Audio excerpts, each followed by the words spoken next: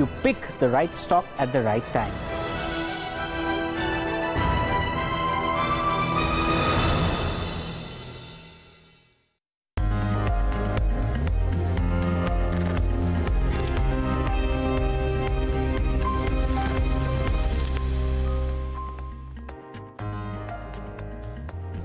Good morning. You're watching Daybreak on Bloomberg Quint Live, and I'm Alex Mathew.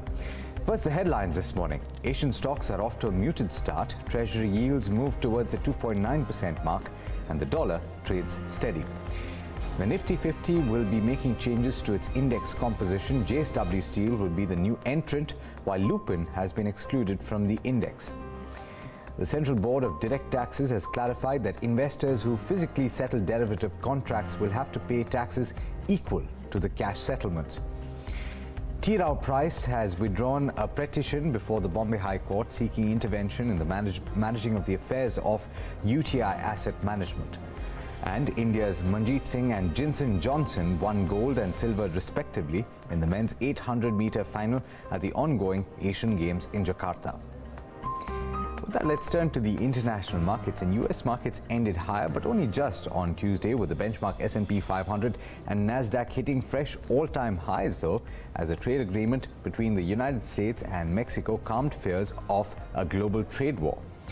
Bloomberg's Sarah Ponczek wraps up all the Wall Street action in this report. Markets were mixed on Wall Street on Tuesday after a pretty light quiet day of trading. It is clearly a summer day here in New York. Many people off the desk. However, much of the focus continues to be on trade. After we got that announcement of the deal between Mexico and the U.S. yesterday, now all of the focus is on what happens with Canada. Are they going to join? And now Robert Lighthizer is saying that he would like to notify Congress of a deal by Friday. So the, the clock is ticking. Chrystia Freeland is in Washington this week to discuss, but it seems like markets are almost in wait and see mode to see what happens next. Now, we are still at record territory territory in the S&P 500. The Dow once again closed above 26,000 today for the second straight day. So it's almost as if markets are asking what now. So still wait and see. We'll have to keep an eye on what happens with these trade developments through the rest of the week. Now on the earnings front, we did hear from two retailers this morning, Best Buy and Tiffany, two very different stories as it relates to price action. So if you take a look at Tiffany's, Tiffany's actually beat on sales, also upped its forecast for the year. Tiffany gained about 1% today. Best Buy, on the, on the other hand, although they did beat on both the top and bottom line, what was disappointing there was their outlook for the third quarter. That sent Best Buy down about 5% today, and it was as low as 8.5% at one point in the day. Another area of focus really is 10 year Treasury yields because last week we were lower at about 2.8%. Now they're picking back up. Now we're nearing 2.9%. And that is putting some pressure on those more rate sensitive sectors. So telecom was the worst performing sector today. Utilities, consumer staples also at the bottom. However, real estate, which is usually part of that group, was the best performing sector today. So a bit of divergences. I'm Sarah Ponczek in New York for Bloomberg. All right, that's how the uh, the U.S. markets ended yesterday. Do remember that today the big talking point, and in fact the number that everyone's going to be watching, is uh, the U.S. GDP growth for the second quarter. That'll come out around 6 p.m. today. Um, apart from that, let's take a look at how the Asian markets are doing this morning. Uh, the early risers had opened positive, uh, but only with marginal gains. Uh, you had the Nikkei in Japan, you have this, the uh, Australian benchmark, and you have the Kospi in South Korea that were all trading positive. As of now, that continues to be the trend, but only just barely for the Kospi in South Korea. It's given up some of its early gains. It is now trading uh, flat. You have the Chinese markets that have just about opened up and the first few ticks are in. So I won't hazard a guess as to how they've opened. We'll wait for a little bit uh, till the dust settles. But as of now, the first few ticks in uh, the Chinese benchmarks are lower uh, to the extent of two tenths of a percent. You have the Hang Seng that's open just about uh, one tenth of a percent lower in the first few ticks. But with that, let's take a check on how the Indian market is spanning and what the numbers are that you have to look out for. Agam Vakil is here to set you up for the day's trade and also to tell you what's happening in the futures and options space with regard to the numbers and the benchmarks, yesterday we talked about the 39,000 mark. We haven't yet gotten there, but we're not too far off, Agam.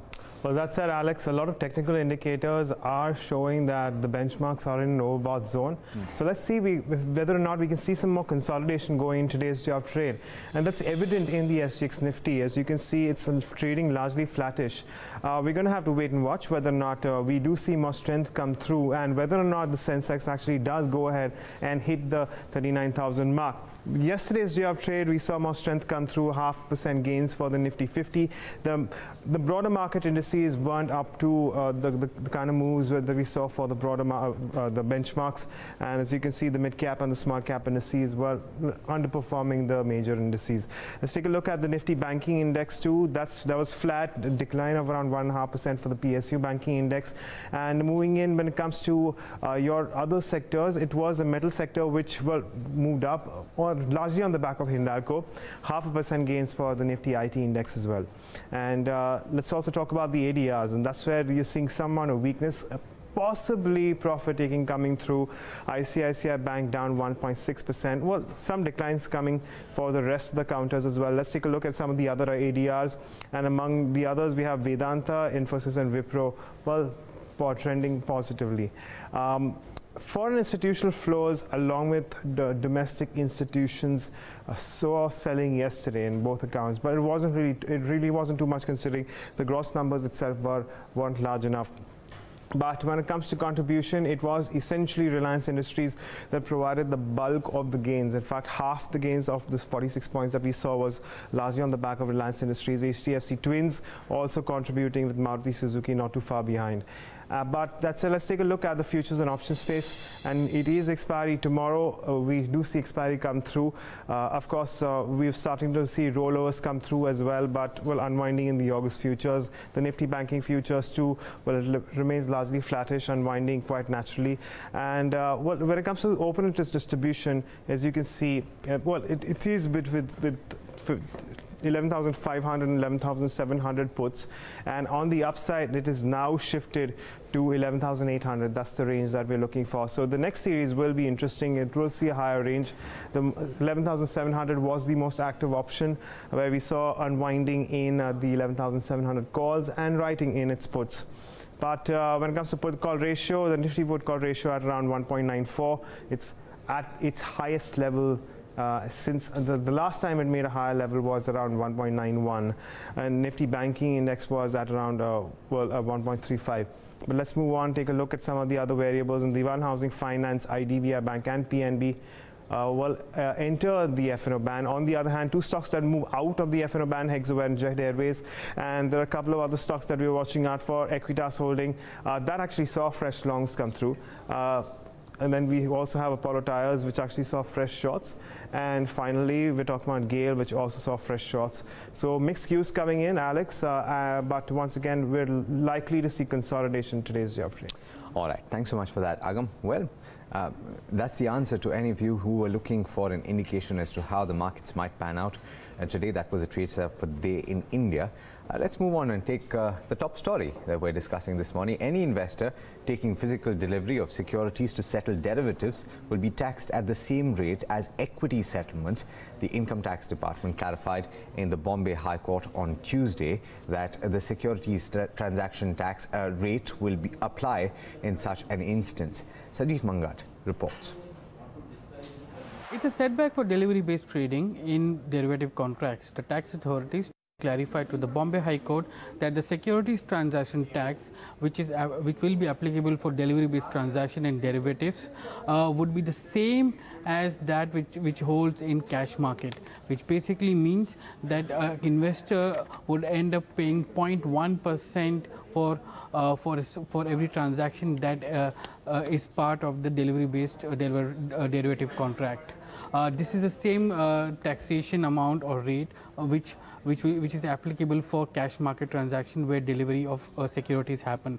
Uh, this entire clarification comes on the back of a case which was filed by ANMI, which is Association of National uh, uh, Stock Exchange of India's members uh, against the National Stock Exchange. Uh, the stock exchange had uh, asked its members to charge the delivery or, or charge uh, STT at a rate uh, of, uh, which is applicable for futures, but on conversion they wanted uh, a provision to give a higher STT because uh, they, they were pending uh, clarity from the CBDT.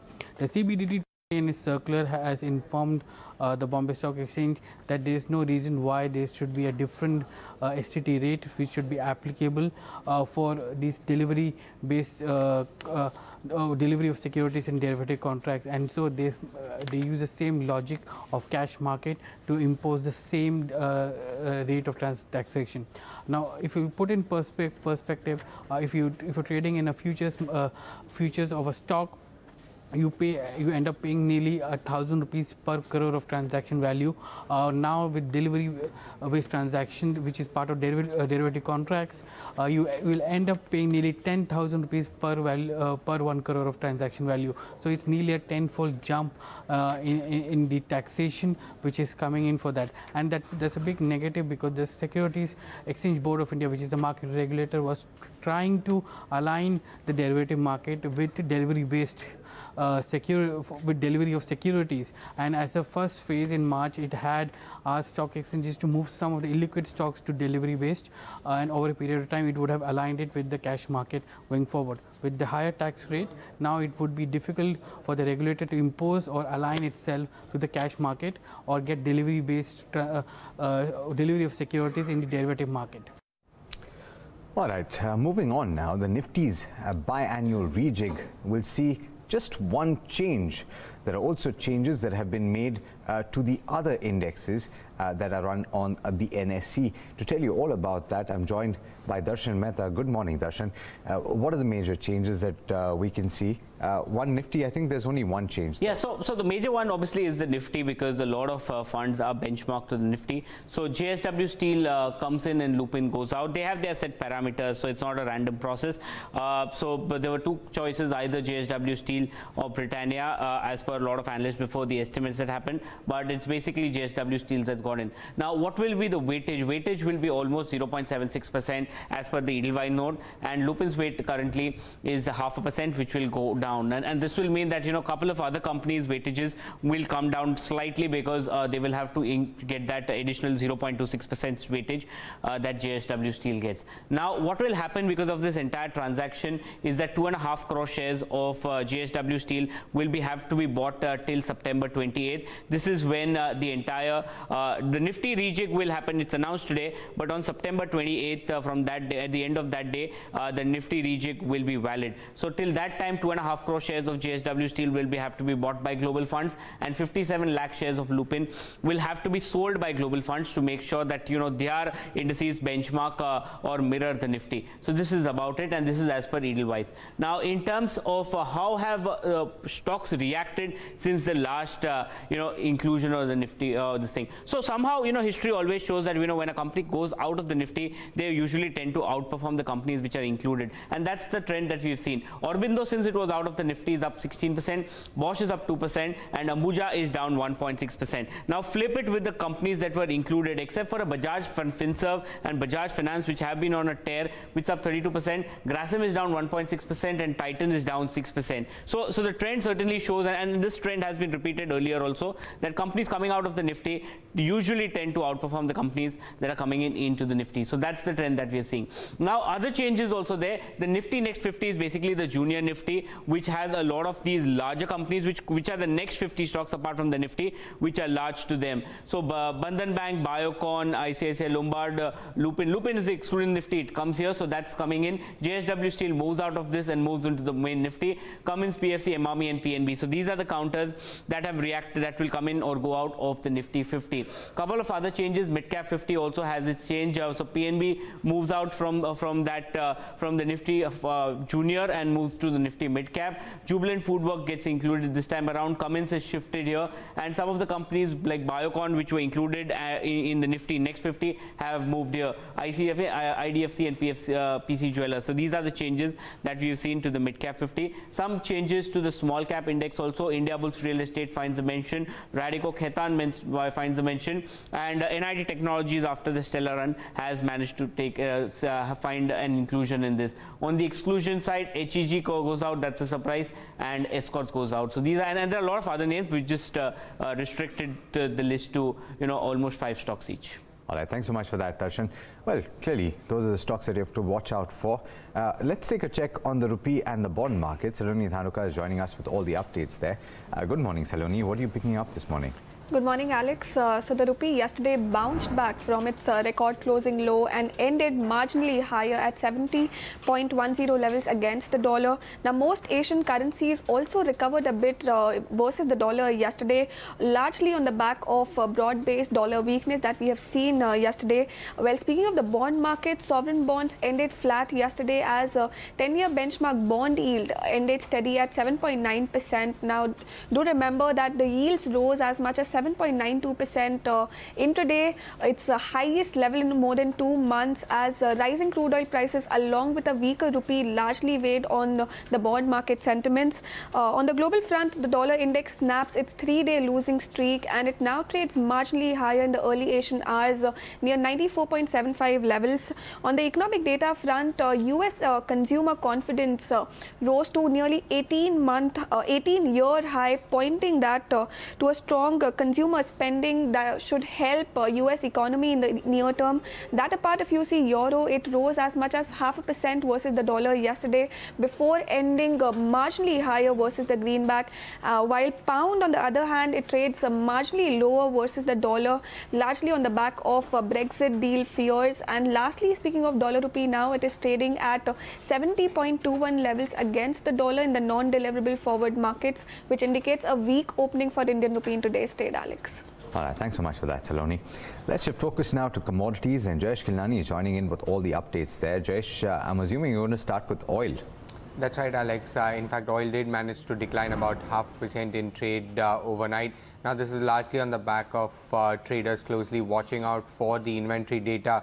Uh, so, what we're picking up is that API is likely to report an inventory buildup of nearly 38,000 barrels for last week, uh, which, which in fact is confirmed by, if confirmed by EIA will be a surprise inventory buildup. Uh, so that's as far as the oil markets are concerned. But shifting focus to the base metal space, uh, the LME base metal index uh, started trading uh, after a holiday yesterday and uh, you know climbed nearly 1% uh, and it was a second straight day of gains that we saw for itself. as far as individual base metals are concerned, aluminium was in particular focus that surged nearly 2% and it was a fourth session of gains that we saw for the aluminium prices.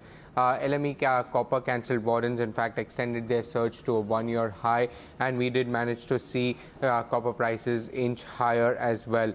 Uh, LME nickel which was the top gainer in trade that also surged nearly 2% and this was also the second straight day of gains that we saw for nickel prices.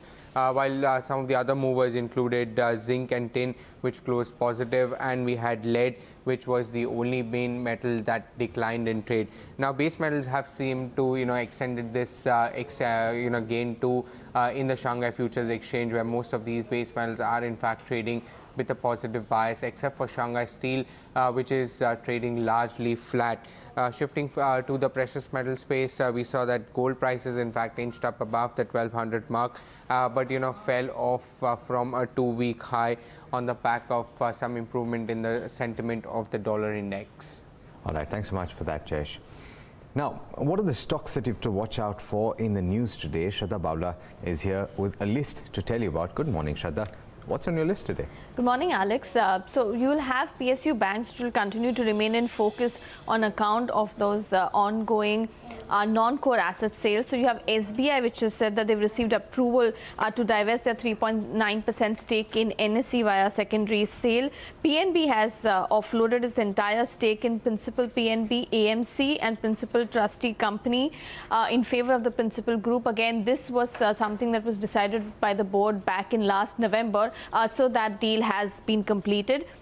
You also have HSBC, which has initiated uh, uh, coverage on Nalco with a buy and a target price of 90 rupees. That's a 20% upside. So you could possibly uh, see a positive reaction on this one. Uh, they've said that higher earnings are expected to be driven by volume growth in alumina. Uh, cost reductions in aluminum production will aid earnings, and that aluminium, they believe, will see some support on account of a tight market balance.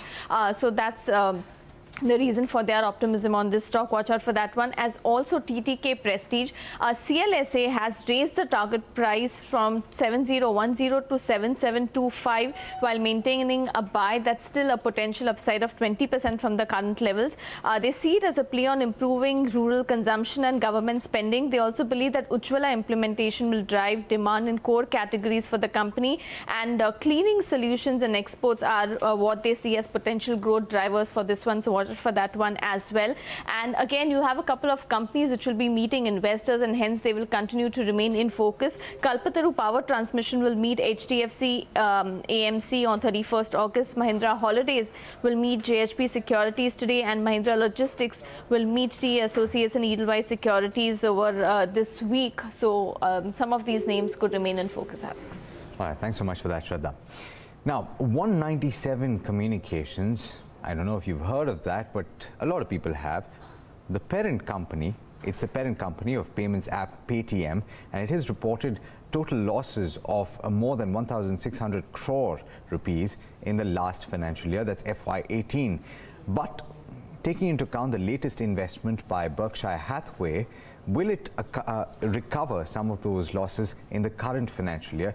Nishant Sharma has all of those details in this report. The losses widen uh, for the parent company of the brand Paytm One97 Communications Limited uh, for the financial year ended March 2018. Now, One97 Communication reported a loss of roughly six, roughly 1600 crores uh, as per the filings made to the register of companies. Now, although the revenues for FY18s weren't available, uh, it reported a revenue of about roughly 640 crores for FY17 against a loss of about roughly 900 crores.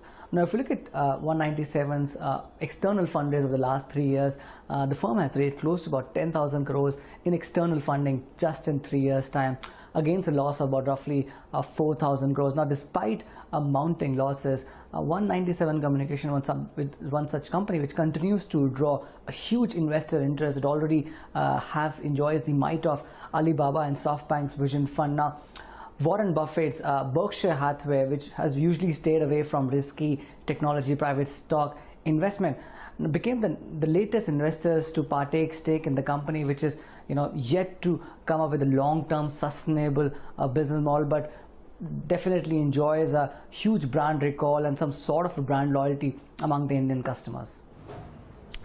All right, now President Donald Trump says Google search results for Trump News show only negative coverage about him.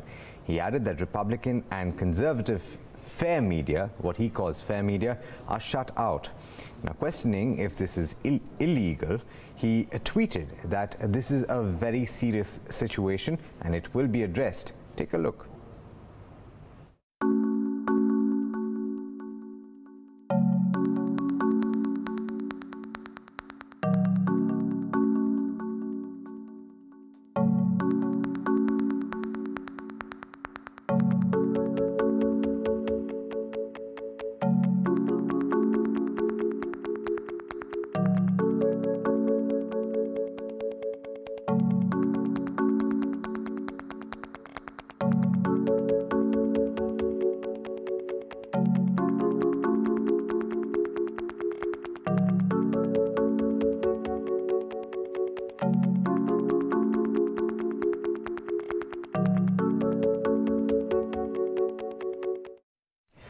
Right, uh, now there are several stories that you can find if you log on to the website bloombergquint.com and of course all the live market action over the course of the day.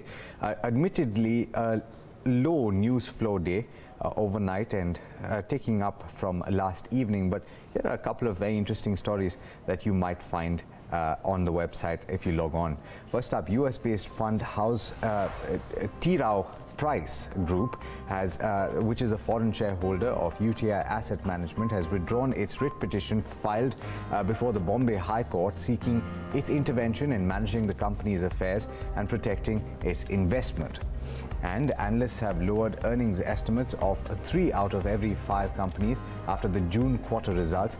Earnings per share estimates were downgraded for 57% of the 251 companies tracked by at least 10 analysts, according to Bloomberg data. And analysts have raised the forecast for 39% and kept estimates unchanged for as many as 4% of the companies. You find all the details in that story. All right, that's all we have for you in this edition of Daybreak, but all you need to know is up next, so do stay tuned. This is Bloomberg Quint.